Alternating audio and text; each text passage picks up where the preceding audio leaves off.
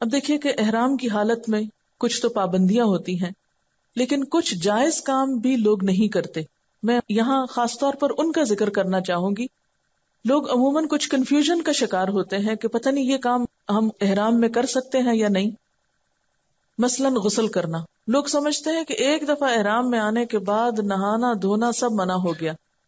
और क्यों नहीं डर के मारे नहाते, क्या पता बाल गिर जाए, क्योंकि हर नहाने में बाल तो गिरते हैं। तो जो बाल खुद गिर रहा हो, उसको तो आप नहीं रोक सकते। उसने तो गिरना ही है। जो चीज़ मना है, वो ये है कि जानबूझ के बाल ना तोड़े या ना काटें। इसलिए एहराम की हालत में, मसलन, आप मक्का पहुँचे हैं और उम्र के लिए निकलना चाहते हैं तो उससे पहले जहाँ आप रुके हैं, वहाँ अगर आप दोबारा नहा लें फ्रेश हो जाएँ तो उससे कोई फ़र्क नहीं पड़ता। बाज खातन वज़ू के वक्त भी एहराम को आगे पीछे नहीं होने देती और वो कहती हैं कि नहीं, ये अगर उतर गया तो शायद हमारा उम्र या हज नहीं होगा। इसी तरह सर में अगर खारिश हो रही हो, क्योंकि होता ही है कि एकदम जब मौसम चेंज होता है, यहाँ जैसे सख्त सर्दी है और वहाँ जाकर मक्का में गर्मी है तो एकदम जिसम जो है वो उसमें सुइयाँ चुभने लगती हैं और जिसको ना भी तकलीफ़ हो खारिश की वो शुरू हो जाती है। अच्छा बाज लोग खारिश नहीं करते। कहते हैं कि शायद खारिज की सर में तो उससे बाल टूट जाएगा। और अगर टूट गया तो फिर दम आ जाएगा। और छोटी छोटी चीज़ पे दम लगाते रहते हैं। इससे डरने की ज़रूरत नहीं, ये एक तबई ज़रूरत है। अगर खारिश हो रही है तो इंसान एहतियात से सर में कर ले या बदन में कहीं हो रही है तो खुजा ले या नहा ले तो इससे हरज नहीं है, क्योंकि इबादत में जितनी यकसुई होगी, उतना ही ज़्यादा लुत्फ आएगा। इसी तरह मरहम पट्टी करना। कहीं खुदा न खासा चोट आ गई कोई दवा लगानी पड़ गई तो बाज लोग कहते नहीं, दवा में भी खुशबू है, वो भी नहीं लगानी। तो अल्लाह ताला ने हमें ये नहीं हुक्म दिया कि अपने आप को हलाकत में डालो और पट्टी में अगर कोई ऐसी दवा लगाई जा रही है जिससे खुशबू आ रही है तो वो ना लगाओ। ये एक माजूरी की हालत है। इसी तरह आँखों में सुरमा वगैरह डालने की भी इजाज़त है। फिर मूजी जानवर जो है, जैसे सांप, बिच्छू वगैरह में से अगर कोई चीज़ है, खुदा न खास्ता, या ऐसी जैसे शहद की मक्खी काट रही है या कुछ तो ऐसी चीज़ों को अगर हटा दिया जाए या उड़ा दिया जाए, ये नहीं कि वो काटने को आई तो आप कहें, जी यहाँ तो हम कुछ भी हटा उड़ा नहीं सकते, उसे काटने दें। तो इसकी ज़रूरत नहीं। चूहा हो या कौवा हो या बिच्छू हो या सांप या काटने वाला कुत्ता, इनको दूर करना या मारना या इनको खत्म करना जो है वो जायज़ है। फिर इसी तरह बाज लोग एहराम की चादर नहीं बदलते। वो कहते नहीं, इसमें हम एहराम पहने थे, इसी में ही सारा कुछ होगा। चलिए, उम्र के मौके पर तो ये होता है कि शुरू में आप यहाँ से गए, पाँच, सात, आठ घंटों में आप फारिग हो सकते हैं। लेकिन हज के मौके पर तो बाजुकत, तीन, चार दिन तक आपको वही लिबास पहनना है। तो लोग लिबास नहीं तब्दील करते। खातन अपने जिसम के कपड़े नहीं चेंज करती। ये कह के कि नहीं, ये एहराम के कपड़े हमने पहने हुए तो ये पाबंदी नहीं है। आप रोज अपना ड्रेस चेंज कर सकते हैं। दिन में दो दफ़ा करना चाहें, दो दफ़ा कर लें। आपने जो स्काफ पहना हुआ है या जो चादर ली हुई है, अगर आप वो भी दिन में दो तीन दफ़ा चेंज करना चाहें, अगर आपके पास सहूलत है और आप समझते हैं कि बहुत पसीना आ गई स्मेल या कोई चीज़ गिर गई ऊपर तो ऐसी सूरत में आप उसको उतार के दूसरा अगर पहन लेंगे तो उसमें कोई हर्ज नहीं है। इसी तरह, अगर घड़ी पहनना है या ऐनक है, या वो एक पेटी पहनते हैं जिसमें आमतौर पर पैसे या पासपोर्ट वगैरह रखते हैं, या छड़ी का इस्तेमाल है तो ये भी जायज़ है। फिर इसी तरह बगैर खुशबू का तेल या साबन जो है, वो भी इस्तेमाल किया जा सकता है। बिना अरफात में जो स्टॉल्स होते हैं, उसमें बगैर खुशबू का साबन जो है, वो मैसर होता है। फिर इसी तरह बच्चों या मुलाजमों की तरबियत के लिए थोड़ी बहुत सरजनिश जो है, उसकी भी इजाज़त है, लेकिन लड़ाई, झगड़ा और फसाद और मारपीट जायज़ नहीं। फिर इसी तरह बवक्त ज़रूरत छतरी का इस्तेमाल जो है, उसकी इजाज़त है।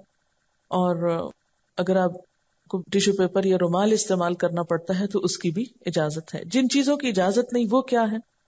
शोहर और बीवी का जिस्मानी ताल्लुक, लड़ाई झगड़ा, गुनाह और नाफरमानी के काम, खुशबू लगाना, निकाह करना, कराना या पैगाम भेजना, खुशकी का शिकार करना, या शिकारी की मदद करना, या शिकार किया हुआ जानवर जबा करना, बाल या नाखून काटना, यानी खुद से नहीं काट सकते, लेकिन अगर खुद कोई गिर गया या टूट गया तो और बात है। बाजू का ऐसा था ना, आपको ठोकर लगती है, पाँव का नाखून टूट जाता है तो अब आप उसको लिए लिए नहीं फिरेंगे बाकी हिस्से को सीधा कर लेंगे। फिर इसी तरह सर में खुशबूदार तेल डालना ये मना है। फिर इसी तरह यह है कि मर्दों के लिए सिला हुआ कपड़ा पहनना मना है, सर पे टोपी या पगड़ी पहनना मना है। मोजे या जराबे मर्दों के लिए मना, लेकिन खातन पहन सकती इसी तरह ऐसी जूती के जो टखनों से ऊपर चली जाए चप्पल या जूती बाजुकत होते हैं ना शूज़ ऐसे होते हैं, जिससे टखने छुप जाते हैं तो मर्दों के लिए ऐसी जूती पहनना भी मना है। फिर इसी तरह यह है कि औरतों के लिए जो एहराम का चादर है, उसका कोई मखसूस रंग ज़रूरी नहीं कि ज़रूर स्याह हो या ज़रूर सफ़ेद हो। बास खातन समझती कि नहीं, एहराम सफ़ेद ही होना चाहिए।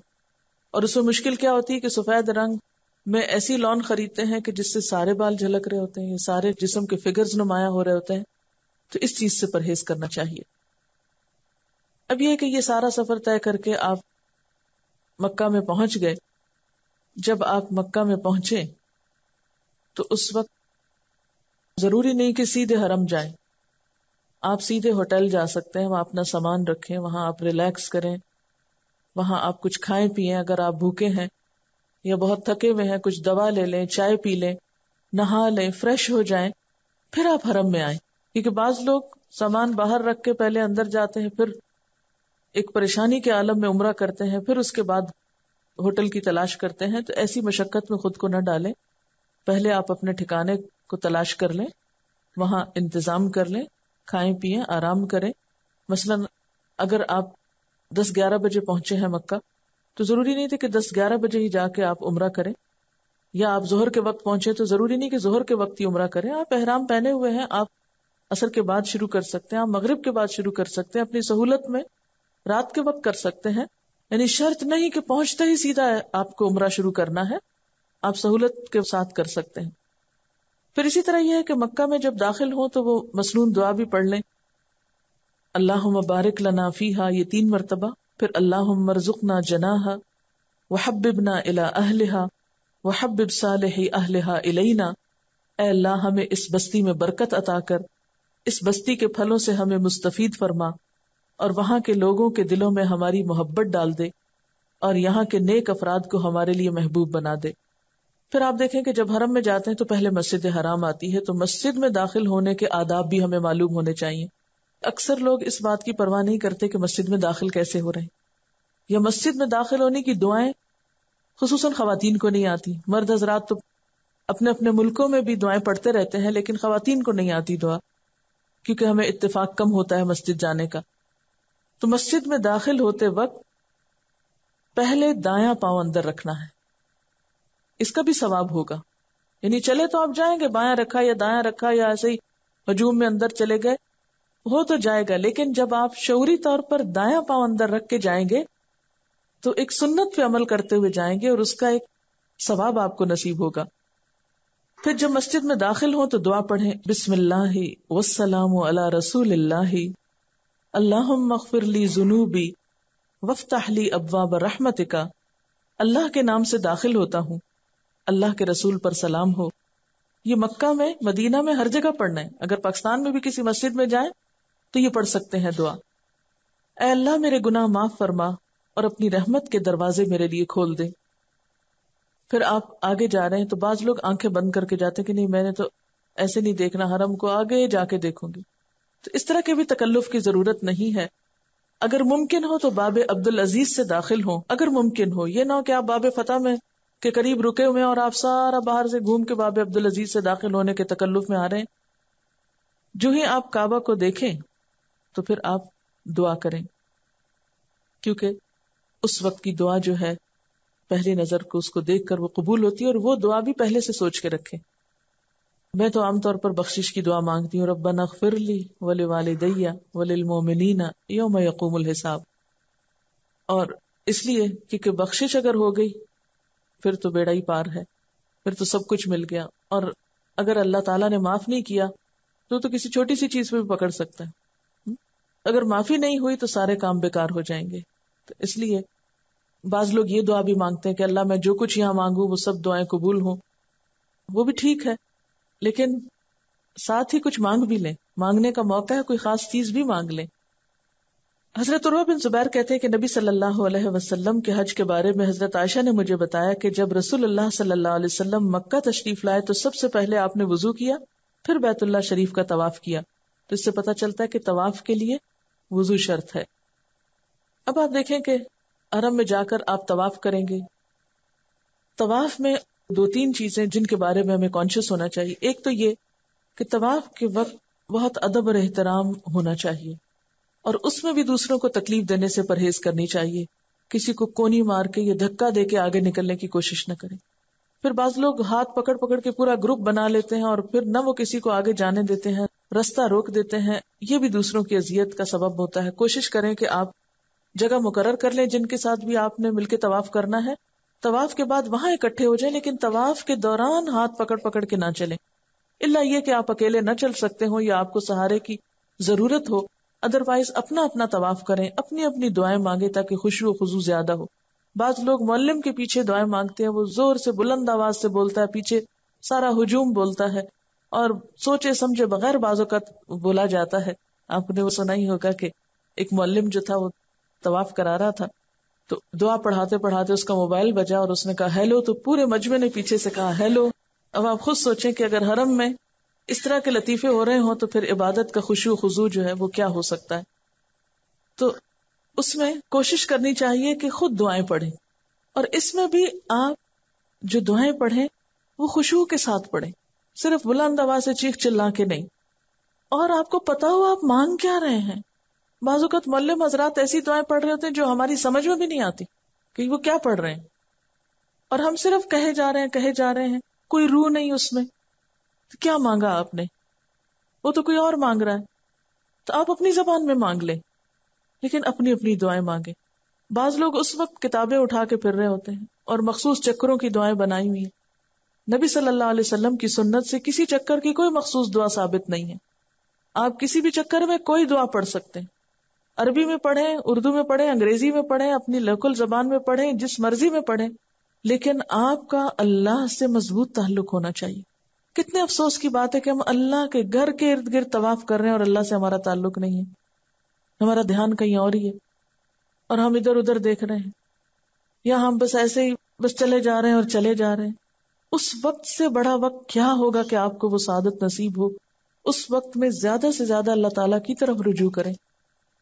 आप ये कर सकते हैं कि अपने चक्कर को याद रखने के लिए, हर चक्कर के लिए एक वजीफा रख सकते हैं। मसला एक में इस्तफार पढ़ लें, एक में या हयो या कयूम पढ़ लें, एक में आयत करीमा पढ़ लें, एक में पहला कलमा पढ़ लें, एक में चौथा कलमा पढ़ लें, एक में द्रुशरी पढ़ लें। ये अपनी सहूलत से आप एक तरतीब कायम कर सकते हैं। बाजू का ऐसा होता है कि याद नहीं रहता कौन सा चक्कर है। तो उस दुआ के मांगने से याद रह जाता था। लेकिन वो भी जबानी पढ़े या ये कि कोई एक शख्स मखसूस करके सबको ना बताए, हर शख्स अपने अपने लिए खुद मखसूस कर सकता है। और उसके अलावा जो मसनून दुआ है, वो रब्बना आतिना फिद दुनिया हसनतन व फिल आखिरत हसनत वक़िना अजाब नार है। जो रुकन यमानी से हजर असवद के दरमियान नबी सल्लल्लाहु अलैहि वसल्लम पढ़ा करते थे और ये खास तौर पर तवाफ के एक चक्कर के पूरा होने का वक्त होता है कि उस वक्त दुनिया और आखिरत की भलाई मांग ली जाए। इसमें आप देखिए कि अगर किसी शरय उजर की वजह से मसला आपका वज़ू नहीं रहा और आपको तवाफ बीच में छोड़ना पड़ता है तो तीन चक्कर किए और आपको वज़ू नहीं रहा तो आप क्या है? या आपको वॉशरूम जाने की वैसी ज़रूरत पेश आ गई तो आप चले जाएँ, दोबारा वज़ू करके आ जाएँ। और जितने चक्कर आपके मुकम्मल थे, उससे अगला चक्कर शुरू करें। यानी अधूरा चक्कर को अधूरी जगह से आके नहीं शुरू करें। मसलन आधे में आपने जगह छोड़ दी तो आप मसलन तीन चक्कर आपने पूरे किए थे। और चौथे से पहले मसलन साढ़े तीन में आप निकल गए बाहर तो साढ़े तीन वाली जगह से नहीं शुरू करें, बल्कि चौथे की इब्तदा से फिर से शुरू करें। और इब्तदा का, जैसे कि आपको मालूम है, कि हजर असवद से शुरू किया जाता है। एक और बात यह है कि तवाफ के दौरान आप तिलावत कुरान भी कर सकते हैं। मतलब आपको सूरत यासीन जुबानी याद है या कुछ और, आप कुरान पाक के हाफिज हैं तो आप कुरान पाक की तिलावत में भी तवाफ कर सकते हैं, क्योंकि आपको मालूम है कि जो शख्स कुरान की तिलावत करता है और दुआ नहीं मांग सकता, अल्लाह ताला उसको मांगने वालों से भी बेहतर अता करते हैं। तो इसलिए उस वक्त की ये भी एक बेहतरीन इबादत है। मतलब दिन में अगर पाँच दफ़ा आप तवाफ कर रहे हैं, उम्र के बाद रोज़ाना की रूटीन में तो आप क्या कर सकते हैं कि एक तवाफ में आप एक खास ज़िक्र कर लें, दूसरे में कुरान पाक पढ़ लें, तीसरे में कुछ और कर लें। यानी बदल बदल के मुख्तलिफ़ चीज़ें, मालूम नहीं अल्लाह ताला को कौन सी चीज़ आपकी पसंद आए और कौन सी चीज़ ज़्यादा फ़ायदे की हो। फिर इसी तरह यह है कि जब तवाफ आप कर लें तो फिर जमजम का पानी पेट भर के पिए। और उस वक्त भी खूब दुआएँ करें, क्योंकि वे भी दुआओं की कबूलियत का वक्त है।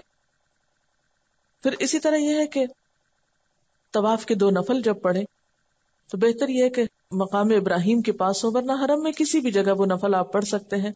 उन नफल के बाद बैठ कर मसलन अगर आपने किताबें पढ़नी है मतलब मुझे कुछ दुआएँ जैसे जबानी अभी तक याद नहीं है तवील होने की वजह से या उनकी तरतीब भूल जाती कि कितनी दुआएँ हैं, सारी नहीं याद रहती। तो मैं अमूमन ये करती थी कि वही जो छोटा बैग होता था, उसमें दुआओं की जो किताबें रखी हुई हैं, जब दो नफल तवाफ के पढ़ती थी तो उस वक्त बैठ के अपनी किताब खोल लेती थी और जितनी जी भर के किताबों में लिखी हुई दुआएँ पढ़नी है, वो पढ़ लें। इस वक्त में अपनी वो डायरी भी निकाल लें, जो आपने लोगों से वादे किए थे दुआएँ करने के, उसको भी निकाल के आप एक दफ़ा पढ़ के उन लोगों के हक में मखसूस दुआ कर लें, जो वो चाहते हैं आपसे करना। फिर यह कि आप सही के लिए निकलेंगे। जब सही के लिए जाएँ तो उस वक्त की दुआ जो है सही शुरू करने की सफ़ा से शुरू करेंगे, मरवा पे एक चक्कर। उस वक्त नबी सल्लल्लाहु अलैहि वसल्लम ने जो दुआ पढ़ी, वो है, ला इलाहा इल्लल्लाहु वहदहु ला शरीक लहु, लहुल मुल्क व लहुल हम्द हुवा अला कुल्लि शैइन कदीर, ला इलाहा इल्लल्लाहु वहदहु अनजज़ वादहु, व नसर अब्दहु, व हज़म अल अहज़ाब वहदहु।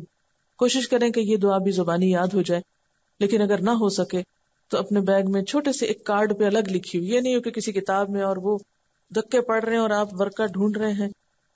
अगर आपने किसी मखसूस उस पर लिखी है तो निशान या मार्कर। आप अपनी मखसूस दुआओं पे या मखसूस चीज़ें पढ़ने के लिए आप उनको वहाँ लगा सकते हैं। मसलन डिफरेंट कलर में भी लगा सकते हैं। आपको सही की दुआ शुरू करनी है और आपको नहीं आती तो जो ही आप सफ़ा पे पहुँचने लगते हैं तो अपनी किताब निकालें, फ़ौरन उस जगह को निकालें और दुआ पढ़ लें। फिर उसके बाद ये कि सब सुतून या जो सब निशान के इलाके हैं, उसमें मर्द हजरात को तेज चलना होगा, मगर औरतें अपनी नॉर्मल चाल चलें। यानी मैंने बाज औरतों को देखा वो भी दौड़ रही होती है, ना देखा देखी। तो इस मौके पर ठीक है, हज़रत हाजरा जो थी वो दौड़ी थी, लेकिन हमारे लिए हुक्म क्या है कि उस जगह पर भी बाबाकार अंदाज में गुजरे। और यहाँ पर भी ये कि अगर सही का सिलसिला भी बीच में मुनक़ते करना पड़ा, मसलन आप थक गए तो आप बैठ जाए थोड़ी देर के लिए। आपको प्यास लगी, आप पानी पी लें। यानी ज़रूरी नहीं है कि एक ही दफ़ा में आप मुकम्मल करके ही सांस लेंगे। बीच में रुक रुक के भी कर सकते हैं। कोशिश ये कीजिए कि जो काम आप कर रहे हैं, खुशी से हो, सुकून से हो, इत्मीनान से हो, ताकि करने के बाद जब आप वापस आए तो आपके दिल में एक इत्मीनान हो। ये हसरत ना हो कि, ओह, पहला हज तो तजुर्बे की नज़र ही हो गया, और अब एक दफ़ा और हज करना है जो सही करके करना है। तो उसके लिए हो सकता है आप दोबारा ना जा सके। इसलिए उस तजुर्बे को भी बहुत आसान तरीके से करें। जो चीज़ समझना है रुक जाए। ठहर जाए, तसल्ली करके निकले। भागम दौड़ नहीं मचाए। और समझ के, पढ़ के, यानी उम्र और हज की जो किताबें आपके पास रखी होंगी, उनको वहाँ पर दोबारा पढ़ लें। हर काम करने से पहले उस हिस्से को फिर से पढ़ के, सोच समझ के, जितना आपके बस में है, अपनी तसल्ली करके आए। शायद ये आखिरी हज हो, इसके बाद मौका न मिले। तो आपकी कोई हसरत ऐसी बाकी न रहे। फिर यह है कि जब सही हो जाती है तो फिर बालों को काटना होता है। इसमें भी औरतें समझती कि शायद सारे बालों के आखिर में ट्रिमिंग करना ज़रूरी है। नहीं, आप ज़रूरी नहीं कि चुटिया के एंड से काटें। आप यहाँ से भी अपनी एक लिट निकाल के उतने हिस्से को भी काट सकते हैं। अगर पीछे से निकालना मुमकिन ना हो तो आगे से निकाल के कान के पास से भी कुछ काट सकते हैं। किसी हिस्से से भी आप एक डेढ़ इंच इतना सा काट के आप फेंक सकते हैं। उसमें यह है कि कोशिश करें कि जब आप बाल काट रहे हैं तो कोई मर्द हजरात आपके बाल ना देखें। कई खातन को उस जगह पे देखा गया है कि वो चुटिया को सबके सामने खोल के, निकाल के काट रही होती हैं और मर्द हजरात देख रहे होते हैं। इतनी तकलीफ़ और परेशानी होती है कि ये किस किस्म का उम्र हो रहा है कि जहाँ हराम काम का इरतकाब है क्योंकि औरत के बाल किसी मर्द को देखने नहीं चाहिए। वहाँ पर तो खास तौर पर इस चीज़ से परहेज करना चाहिए। फिर जब आपने उम्र कर लिया यहाँ पर आपका उम्र खत्म हो गया। उम्र जब आपने कर लिया, मस्जिद से बाहर निकलने लगे तो बाया पाँव पहले बाहर निकालेंगे और दुआ पढ़ेंगे अला रसूल अल्लाह ली जुनूबी वफ्ताहली अब्वा बफद लिखा अल्लाह के नाम से मस्जिद से निकलता हूँ, अल्लाह के रसूल पर सलाम हो ए अल्लाह मेरे गुनाह माफ़ फरमा और अपने फजल के दरवाजे मेरे लिए खोल दे। अब आप देखिए कि उम्र के बाद आप एहराम खोल देंगे। यानी आपके ऊपर वो पाबंदियाँ जो है, बुनियादी तौर पर एहराम खोलने का मतलब ये नहीं कि स्काफ उतार के फेंक देंगे। इसका मतलब ये है कि उम्र की जो पाबंदियाँ आप पर आयद हुई थी, वो पाबंदियाँ अब खत्म हो गई। अब जब दोबारा आपको हज करना है तो आठ तारीख को दोबारा एहराम पहनेंगे। उसकी बात बाद में करेंगे। अब यह है कि हो सकता है आपके पास दो हफ़्ते हो वहाँ पर मक्का में ठहरने के। इन दो हफ्तों को कैसे गुजारना है? इसके लिए दिन भर का अपना टाइम टेबल बनाएँ। और उस पर सख्ती से जम जाएँ, वरना रोज़ाना के प्रोग्राम तब्दील करने से बहुत से औकात जाया हो जाते हैं। उसमें यह है कि बाजुकात आपके रिश्तेदार या दोस्त या ग्रुप के लोग आपके साथ होते हैं, वो आपको कहते हैं, इकट्ठे चलेंगे, इकट्ठे आएँगे, इकट्ठे बैठेंगे, इकट्ठी जगह रखेंगे। इन चीज़ों से बाहर आ जाइए। इसलिए कि बाजुका दूसरों के इंतज़ार में मसला नमाज़ का वक्त अजान हो रही है और आप चीख चिल्ला रहे हैं, जल्दी बाहर आओ, वॉशरूम। लोग चले जाते हैं और निकलने का नाम नहीं लेते वज़ू कर रहे हैं और किए चले जा रहे हैं, उनका वहम खत्म नहीं हो रहा। इस किस्म की बहुत सी बातों से बहुत वक्त जाया होता है। तो जो भी आपके साथ हैं, उनको अदब एहतराम से समझा दीजिए कि ये औकात बड़े कीमती हैं। ये वक्त और ये फुर्सत शायद फिर मिले या ना मिले।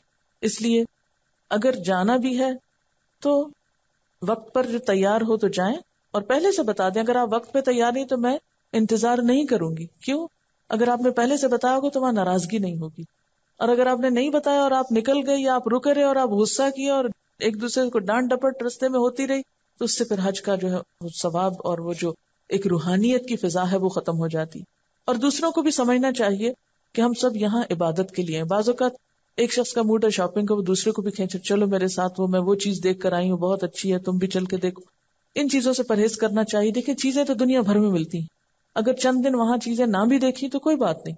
और अगर किसी वक्त कोई चीज़ ज़रूरत और आपको लेनी है तो आप ऐसे औकात में जाइए कि जब आप इबादत से थक चुके हों और आप थोड़ा अपने आप को फ्रेश करने के लिए थोड़ा इधर उधर निकल जाएँ, वरना नमाजों के औकात में, इबादत के औकात में, फ्रेश औकात में बाजारों में घूमना जो है, ये अपने वक्त को जाया करना है। अब यह है कि रोज़ाना आप तहजद पढ़ने की कोशिश करें कि एक नफल का सवाब भी वहाँ बहुत ज़्यादा है और तहजद के वक्त की दुआएँ भी कबूल होती हैं और अल्लाह का घर है सामने तो दुआओं की कबूलियत के खास मौके इसलिए तहजद की आजान से कुछ पहले ही उठ जाए। और उठने के बाद यह है कि आप कोशिश करें कि मस्जिद में आकर आपको तहजद की आजान मिले। जब आप घर से निकलेंगे, दुआएँ पढ़ते वक्त, ज़िक्र करते वक्त करते हुए, फिर आप वहाँ पहुँचेंगे। मस्जिद में मसनून तरीके से दाखिल होंगे, दुआ पढ़ के दाखिल होंगे। आप मस्जिद के नफल पढ़ेंगे और फिर आजान होगी, आजान का जवाब देंगे। आजान का जवाब देकर जो दुआ पढ़ी जाती है, वो भी कबूल होती। बहुत से लोग लाइलमी की वजह से उस वक्त को जाया करते हैं। यानी वो कबूलियत का वक्त है और लोग बातों में मसरूफ हैं या सो रहे हैं या किसी और शुगल में हैं। तो कोशिश करें कि आजान आपको हरम में मिले या रास्ते में मिले। अगर रास्ते में मिलती है आजान, यानी पाँच अजानों में से या ताजुद की अजान में से सबकी बात मैं कर रही हूँ इस वक्त मुश्तर तौर पर।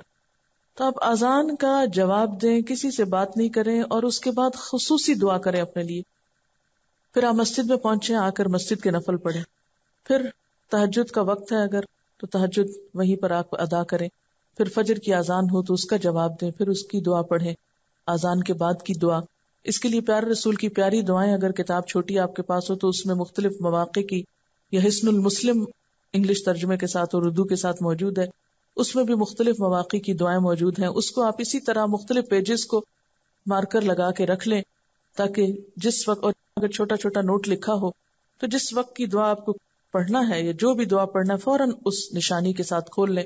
वर्क के बार बार पलटना और उसमें वक्त जाया करना, ये भी दुरुस्त नहीं। एक ही दफ़ा इंतज़ाम कर लें इन चीज़ों का। फिर जब आप वहाँ दुआ पढ़ लें, फिर उसके बाद फजर की सुन्नतें पढ़ें। आजान और नमाज़ के बीच का जो वक्त है, ये सारा दुआओं की कबूलियत का वक्त है। इस वक्त को आप या तो तिलावत में गुजारें, या ज़िक्र में गुजारें, या दुआ पढ़ें, इस वक्त में कुछ और ना करें। यानी अजान से लेकर नमाज़ तक के बीच की जो घड़ियाँ हैं, ये बड़ी कीमती हैं।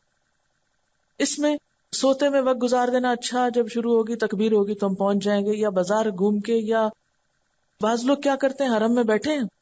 अच्छा बहन तुम कहाँ से आई हो? फला जगह से बातें और गुफ्तगु और आसाने हो रही तकबीरें हो रही कुछ हो और, और कहानियाँ खत्म नहीं हो रही। और बाज खातन तो मुसलसल शॉपिंग की बातें और शॉपिंग करके बाजू का अंदर ले आते हैं छुपा के और वो दिखाने की। यानी वहाँ जाकर भी हमारी दुनिया खत्म नहीं होती। अगर इतनी ही दुनिया से मोहब्बत है कि अल्लाह के घर में भी दुनिया नहीं भूलती तो फिर और कहाँ भूलेगी? इससे फिर यह होता कि वो हज की जो रूह है या मकसद है या जो फ़ायदा है वो हासिल नहीं होता। इसलिए कोशिश करें कि आजान और नमाज़ के बीच के वक्फे को खूब खूब ज़िक्र और दुआ में गुजारा। फिर नमाज़ हो गई। अब आपको जमात से नमाज़ पढ़ने का तरीका आना चाहिए। इसको सीख लेना चाहिए।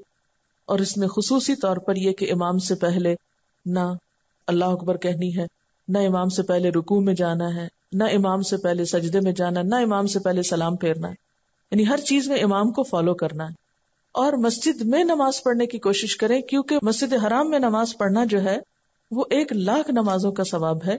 इसलिए जब आप यहाँ से चले गए बास खातन को देखा है कि वो वहाँ जाकर मस्जिद में नमाज़ नहीं पढ़ी वो कहती है कि औरत की नमाज़ घर में अच्छी। मैं उनसे ये पूछती हूँ कि वो उनका घर कहाँ से वो तो होटल है, है? वहाँ जहाँ आप रहते हैं वो आपका घर तो नहीं होता। तो होटल में नमाज़ पढ़ने से बेहतर है आप मस्जिद में नमाज़ पढ़ें। और मस्जिद में जब आप नमाज़ पढ़ेंगे तो फिर उसका तरीका आपको आना चाहिए। सफ़ों को दुरुस्त होना चाहिए, सफ़े जोड़नी चाहिए। बाजू खातन को सफ़े नहीं बनानी आती तो उस सूरत में मुश्किल पड़ती है। नमाज़ का लुत्फ खत्म होता है।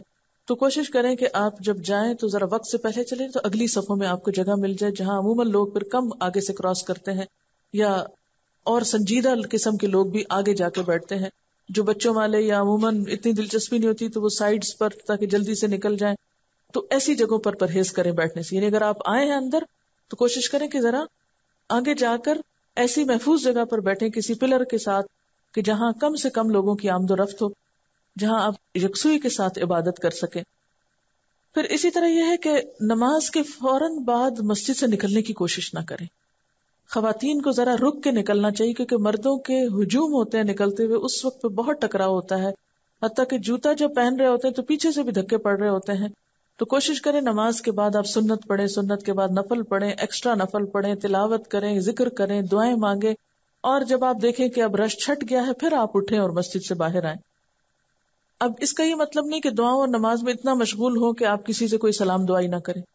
जब आप नमाज़ पढ़ चुके अपने काम से फारिग हो जाए तो फिर आप देखें दाएँ बाएँ कौन बैठा है, सलाम करें, बात करें, और हाल चाल पूछें अपने मुल्क के लोगों के भी, दूसरे मुल्कों से आए हुए लोगों के भी। अपने बारे में बताएँ, उनके बारे में जानें, क्योंकि हज का मकसद क्या है? लोगों की वहाँ मुलाकात भी हो, एक दूसरे से तारुफ भी हो, एक दूसरे से कुछ सीखा भी जाए। और उसमें आप थोड़ी बहुत दुनिया की बात भी अगर आप कर लेते हैं, खाने कपड़े की भी, हल्की फुल्की, जब आप नमाज़ वगैरह से फारिग होकर हर चीज़ से बिल्कुल तो उस वक्त में कोई हरज नहीं। लेकिन नमाजों के इंतज़ार के वक्त में नहीं, दुआओं की कबूलियत के वक्त में नहीं। फिर इसी तरह यह है कि उस वक्त में अपने पास छोटी छोटी कोई ऐसी चीज़ हो जो दूसरों को आप दे सकें बांट सकें। वो अगर आप जाते वक्त यहीं से ले जाएँ, मसलन दुआओं के कार्ड ले जाएँ, कुछ मसलन शादी कार्ड घरों में विश कार्ड्स पड़े होते हैं, फालतू बेकार, उनके ऊपर काट कर कुछ अपने हाथ से दुआएँ लिख लें। वो आप मुख्तलिफ़ लोगों को या अहादीस लिखी हुई हो, वो आप वहाँ पर दे सकते हैं। फिर इसी तरह यह है कि अगर आप चाहते हैं कि इबादत के औकात की पाबंदी हो तो फिर गजा का खास ख्याल रखें। बहुत हैवी किस्म की गजा ना हो कि जिससे आपको नींद ही आती रहे। बाज लोग गजाओं के औकात की पाबंदी नहीं करते। कभी किसी वक्त खा लिया, कभी किसी वक्त खा लिया तो उसका नुकसान क्या होता है कि आपकी जो रफ हाजत की आदत है, वो भी डिस्टर्ब हो जाती है। तो उसमें अगर आप चाहते हैं कि वक्त पर फारिग हों और वक्त पर आप पाक हों, वक्त पर साफ़ हों तो फिर उसके लिए ज़रूरी है कि खाने के जो औकात हैं, उनकी भी स्ट्रिक्टली पाबंदी करें। और उसमें खाना इस तरह का ना हो कि जिससे आपको मैदे में जलन शुरू हो जाए, या आप बार बार पानी पिए, या आपको सुस्ती और गनूदगी हो, या ये कि आपका स्टमक अपसेट हो जाए और वॉशरूम बार बार जाना पड़े, ये तमाम चीज़ें जो है वहाँ जाकर बहुत इबादत के वक्त को जाया करती हैं। खजूर और जमजम का इस्तेमाल खास तौर पर करते रहें। ये दोनों चीज़ें आपकी सेहत के लिए भी अच्छी हैं और जमजम के बारे में भी आता है कि जिस नीयत से पिया जाए वो हासिल होती। यानी अगर आप शिफा की नीयत से पी रहे हैं या गजा की नीयत से पी रहे हैं तो कोशिश करें कि हरम में होते हुए दूसरा पानी न ले जाए, वही पानी बार बार पिए। खजूर अगर अपने बैग में भी थोड़ी सी साथ रहे किसी वक्त इबादत के दरमियान शुगर लेवल लो होता है तो एक आध खजूर जो है वो अगर आप पॉलीथीन के लॉक होने वाले बैग के अंदर डाल के तीन चार रखी भी हो, जरा ज़्यादा भी रख लें, बाजू का सात आठ भी रख लें, क्योंकि होता ही कि जब आप खा रहे हैं तो सामने को बच्चा बैठा है, दाएँ बाएँ को और बैठा है तो उसको भी थोड़ा सा ऑफ़र कर दें। क्योंकि बहुत ऑकवर्ड लगता है कि आप खुद तो खा पी रहे हैं और लोग आपकी शक्ल देख रहे हैं। और मैं उस वक्त ये हदीस याद रखती हूँ कि आग से बचो, खा खजूर का आधा टुकड़ा ही। तो सोचती हूँ कि ये बिल्कुल अनजान लोग हैं जो मुझे नहीं जानते कि मैं कौन हूँ। अगर इनको मैं कुछ दूँगी तो ये तो न मुझे इनसे शुक्रिया की तो होगी न मुझे तारीफ़ की, न इसके बाद ये मेरा एहसान कभी उतार सकेंगे। इसलिए ऐसे लोगों पर एहसान करो कि जिनसे कोई वापसी की तो ना हो। तो वो एक तरह से बेहतरीन सदका और बेहतरीन अजर होता है। अच्छी खजूरें मिल जाती हैं वहाँ पर अगर आप यूँ समझे कि बाजुकत सिर्फ़ पैसे देने की बजाय कुछ खजूरें ही अपने पास रखें तो जो मांगने वाला नज़र आए उसको भी आप खजूर भी सदके में दे सकते हैं। फिर इसी तरह यह है कि वहाँ पर बर्फ़ के पानी वाले कूलर भी होते हैं और दूसरे भी होते हैं। कोशिश करें कि बगैर बर्फ़ वाला पिए। अगर सब लोगों की अपनी अपनी आदत होती है, लेकिन गले के खराब होने के इम्कान कम होते हैं। और यह है कि उसमें इंसान को एक नेचुरल चीज़ मिलती है। जमजम में अगर बर्फ़ डाल देंगे तो ज़ाहिर है कि डाइल्यूट हो जाएगा कुछ। तो वहाँ जाकर तो प्योर जमजम पीने की कोशिश करें। फिर इसी तरह यह है कि साथ साथ अपना मुहासबा जारी रखें। कि क्या मैंने अपने दिन का सही इस्तेमाल किया है? क्या मेरी नमाज़ में खुशु खुजू था? क्या मैंने सदका किया कुछ? क्या मैंने ज़िक्र अपने पूरे किए? बल्कि ज़िक्र जो जो करने हैं आपको, उनकी एक लिस्ट बना लें। सुबह शाम की दुआएँ पढ़नी है। या नमाजों के बाद जो मसनून असकार हैं, वो पढ़ने हैं। या फिर दीगर दुआएँ पढ़नी, हिफाजत की दुआएँ वगैरह पढ़नी है। अगर आप बीमार हैं तो आयात शिफा पढ़कर खुद पे दम करें। अहम तरीन चीज़ ये कि अपने जज्बात पे कंट्रोल रखें। गम, गुस्सा, मोहब्बत, इन सारे जज्बात पे बहुत कंट्रोल रखें। बाजुकात ऐसा होता है कि हमें आयात सुन रहे हैं, तिलावत की वो समझ आ रही हैं तो रोना आ रहा है। इतनी बुलंद आवाज़ में ना रोना शुरू कर दें कि आदमी भी आपकी तरफ़ मुतवजह हो जाए। बाज लोग हरम जाते हुए बहुत रोते हैं, आते हुए बहुत रोते हैं, यानी जब आखिरी वदाई तवाफ होता है तो वाकई रोना बहुत आता है। उसमें भी अतदाल रखें, ऐसा ना हो कि सिर्फ़ रोने में वक्त गुजर जाए और दुआओं का वक्त ही ना रहे। या इसी तरह कोई शख्स आपको इरिटेट करता है तो गुस्सा आता है। मसलन किसी ने आपको धक्का दिया तो अनकॉन्शियसली कौन ही आप पीछे करेंगे। तो अपने आप को कंट्रोल करना सीखें। फिर इसी तरह यह है कि भूख लगी है तो बार बार हाय भूख लगी है और अभी तक खाने का मौका नहीं आया और ये बातें भी बार बार ना करें। प्यास लगी तो है बहुत ही प्यास लग रही है। नहीं बस पानी पी ले। ये बार बार तस्करा करने की क्या ज़रूरत है, हाँ? इन्हीं लव और बेकार किस्म की बातों से हत्तुल बसा बचे। फिर उसके बाद यह है कि आपको हो सकता है कि मदीना जाने का मौका मिले। और ये हज से पहले हो। हिजरत से पहले मदीना का नाम यसरफ था। बाद में मदीना तैयबा के नाम से ये मशहूर हुआ। मक्का से 260 मील के फासले पे है और आबादी के एतबार से फिर ये दूसरे नंबर पे है। इसे दारुल हिजरत भी कहा जाता है क्योंकि हिजरत के बाद ये घर बना था नबी सल्लल्लाहु और साहब कराम का। नबी सल्लल्लाहु अलैहि वसल्लम ने फरमाया, ए अल्लाह, हज़रत इब्राहिम तेरे खलील और नबी थे। इनकी जबान पर तूने मक्का को हरम करार दिया। अल्लाह, मैं तेरा बंदा और पैगंबर हूँ। मैं मदीना के दोनों किनारों के दरमियान तक हरम करार देता हूँ। यानी जिस तरह मक्का का हरम है, इसी तरह मदीना भी हरम है। आपने फरमाया अल मदीना तो हरम उन मदीना हरम है। और मदीना का हरम जबल ईर से जबल सौर तक है। न इसका दरख्त काटा जाए, न इसमें कोई बिदत की जाए। जो मदीना में बिदत ईजाद करेगा उस पर अल्लाह की और फरिश्तों की लानत है। आपने फरमाया, मदीना बुरे आदमियों को इस तरह निकाल देता है, जैसे भट्टी लोहे का मैल दूर करती है। यानी उनका या तो वहाँ दिल नहीं लगता, या फिर ये वो रह नहीं सकते। आपने फरमाया, अगर लोग समझे तो मदीना उनके लिए बेहतर है। होता ही है कि जब हम मक्का जाते हैं तो हमारा शौक होता है कि ज़्यादा वहाँ रहे, और अल्हम्दुलिल्लाह, होना भी चाहिए। लेकिन मक्का की मोहब्बत में मदीना की मोहब्बत को खत्म न कर दे। या मदीना की मोहब्बत में मक्का की मोहब्बत कम न कर दे। यानी दोनों में एतदाल बहुत ज़रूरी। बहुत से लोग इन दो शहरों को हर वक्त कंपेयर करते रहते हैं। मदीना में ये था, मक्का में ये नहीं था, मक्का में ये था और मदीना में ये नहीं था। इस तरह की गुफ्तगु का भी इतना फ़ायदा नहीं। यह है कि दोनों शहरों का अपना मिजाज है, अपनी जगह, अपनी रहमत, बरकत और फजीलत है। दोनों को ड्यू रिस्पेक्ट और मोहब्बत दें। दोनों में पहुंचकर वक्त की कदर करें और उन जगहों का अदब और एहतराम करें। आप सल्लल्लाहु ने फरमाया ईमान मदीना में सिमट कर ऐसे आ जाएगा जैसे सांप सिमट कर अपने बिल में आ जाता है। हम्म? यानी आखिरी वक्त में, दुनिया में जब हर तरफ़ बेईमानी हो जाएगी और दीन खत्म हो जाएगा तो ईमान और दीन सिमट कर वापस वहीं लौट जाएगा। आप सल्लल्लाहु अलैहि वसल्लम ने फरमाया, मदीना इस्लाम का कुब्बा है, ईमान का घर है, हिजरत का मकाम है, हलाल और हराम के मालूम होने का ठिकाना है। आपने फरमाया जो मदीना की मुसीबतों और परेशानियों पर सब्र करे, मैं क्यामत के दिन उसकी सिफारिश करूँगा। तो जिस तरह मक्का जाकर आपने तकलीफ़ और परेशानी का ज़िक्र नहीं करना, इसी तरह यहाँ पर भी तकलीफ़ और परेशानी पर सब्र करना है। यानी किसी भी किस्म की जो हो।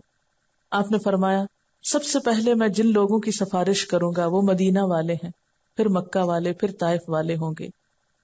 आप सल्लल्लाहु अलैहि वसल्लम ने फरमाया, जो मदीना में मरने की ताकत रखता हो उसको मदीना में ही मरना चाहिए।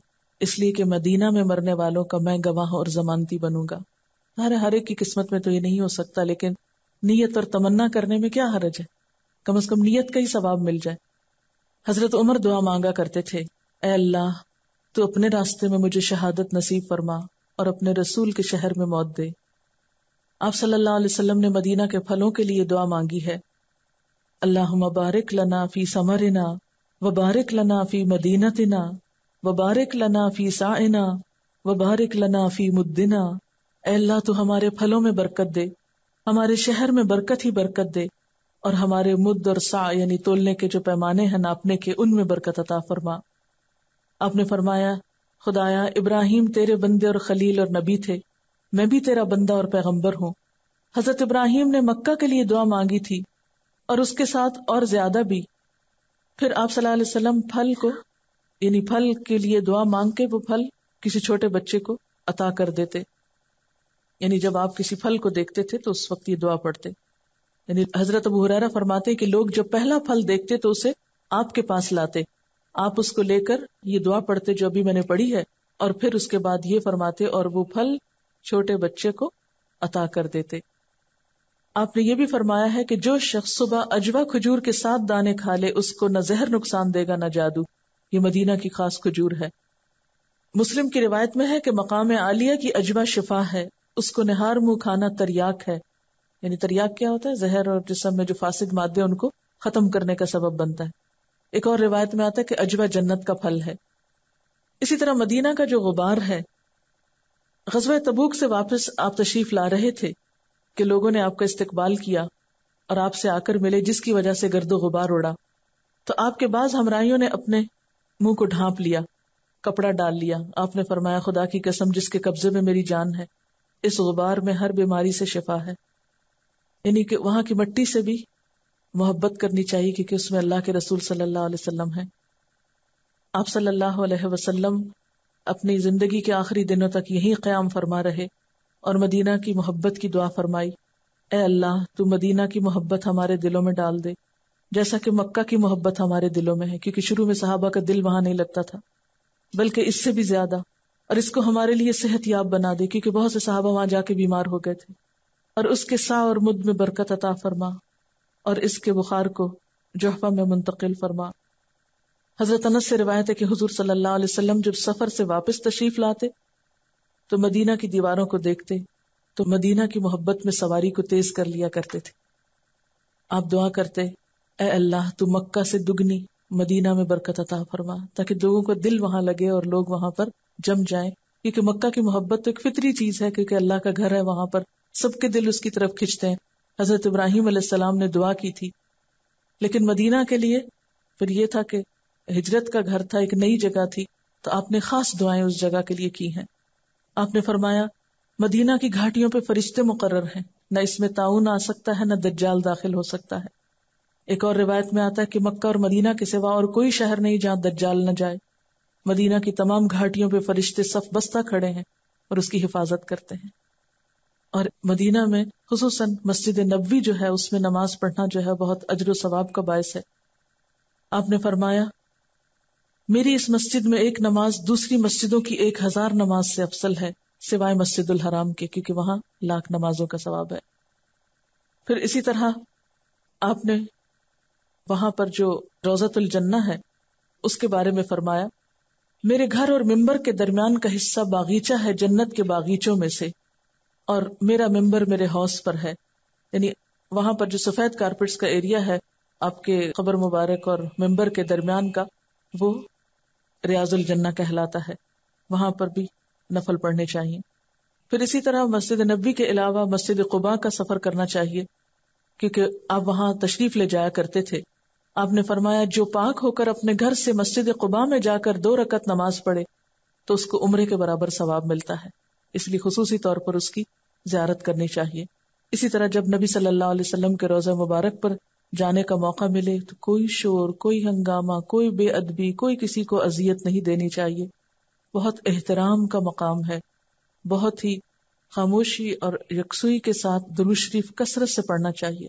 बहुत से लोग वहाँ बैठकर भी गपशप में, सलाम, दुआ, मेल मुलाकातों में ये मिल गया, वो आ गया, उसको बुला रहे हैं, उसको धकेल रहे हैं या दूसरों को क्रॉस कर करके आगे जा रहे हैं। इन सारी चीज़ों से परहेज करना चाहिए। अपने कदम समेट के जाना चाहिए।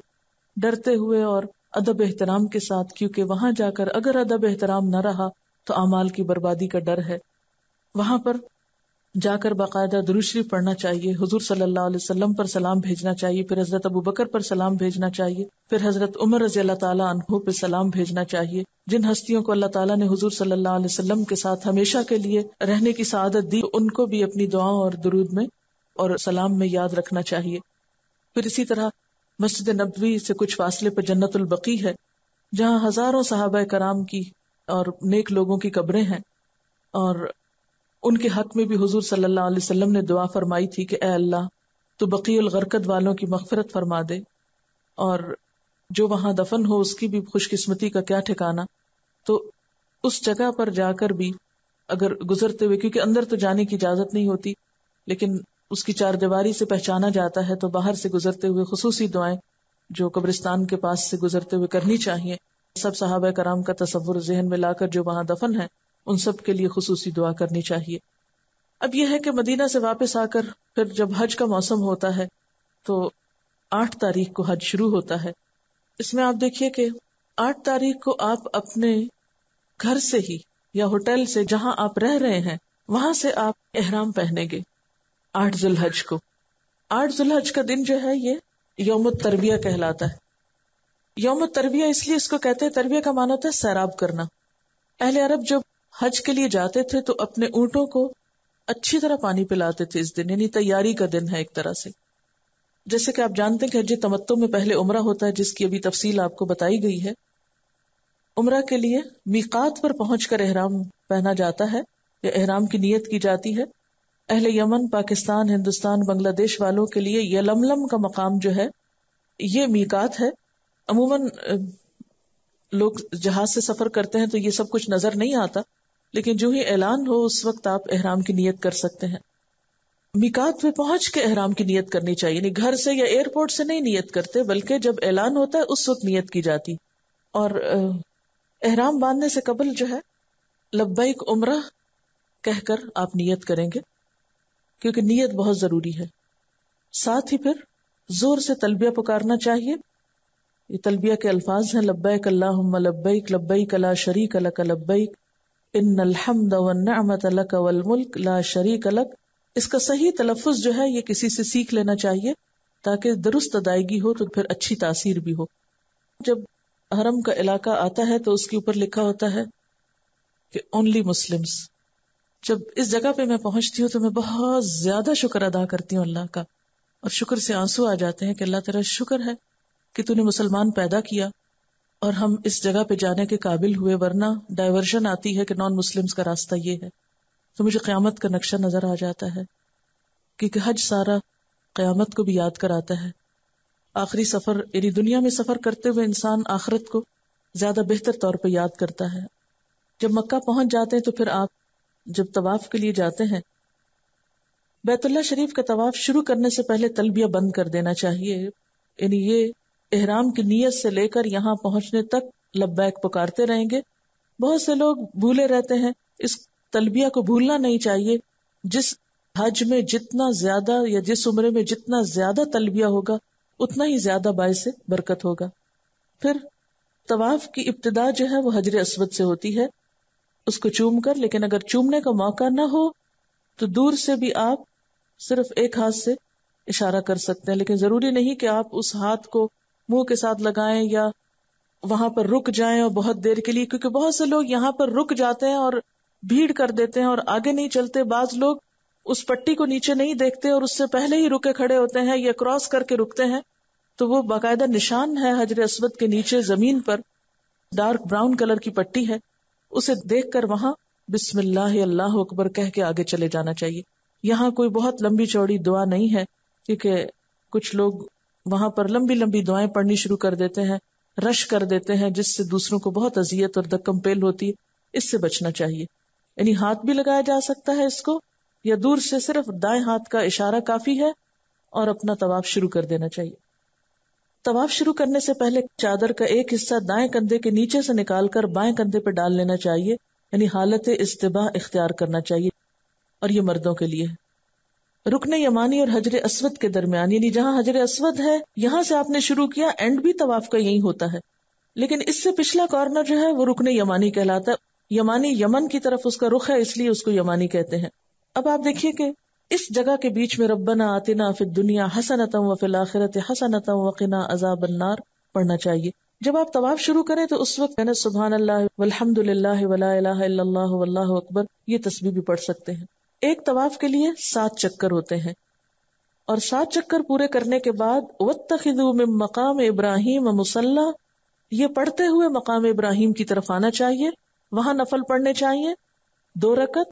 पहली रकत में सूरत अल काफिरून और दूसरी में कुल अहद पढ़ना मसनून है। अगर आपको याद ना रहे तो कोई बात नहीं, लेकिन अगर आप इस तरह पढ़ेंगे तो ज़्यादा सवाब है, क्योंकि ये सुन्नत है।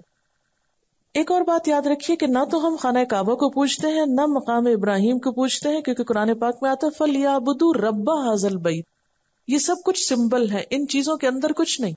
इनकी अहमियत भी अल्लाह के बताने से हुई है। जैसे हज़रत उमर ताला ने हज़रत को जब बोसा दिया तो कहा था कि, या हजर इन्ना का हजर।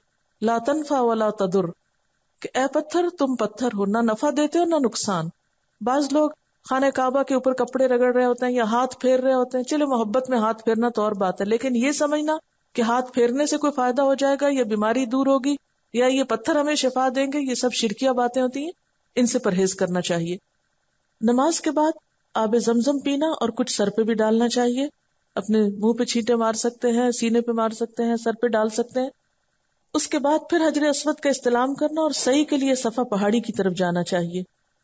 और पानी पीने के लिए आप कूलर से भी पी सकते हैं, लेकिन बेहतर है कि आप नीचे उतर जाएँ, जहाँ पर जो कुआँ है, उससे डायरेक्ट पानी आता है। मुल्तजम के पास अमूमन खातन नहीं जाती और ना ही कोशिश करनी चाहिए, क्योंकि बहुत मर्दों से टकराव होता है तो फिर मुश्किल पड़ती है।